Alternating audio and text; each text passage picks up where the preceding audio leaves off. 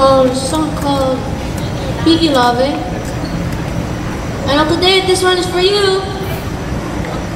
No, the Whitney family. Oh yeah. And Uncle Dave, by the end of this year, I, I expect you to learn this song. Okay? Okay? Okay. You got that? Okay. I'll be really disappointed if you don't do it. Okay. He's his ukulele time. Hmm, Song called Hiilawe. Last song. Last song. No, not last song. It's last song. Number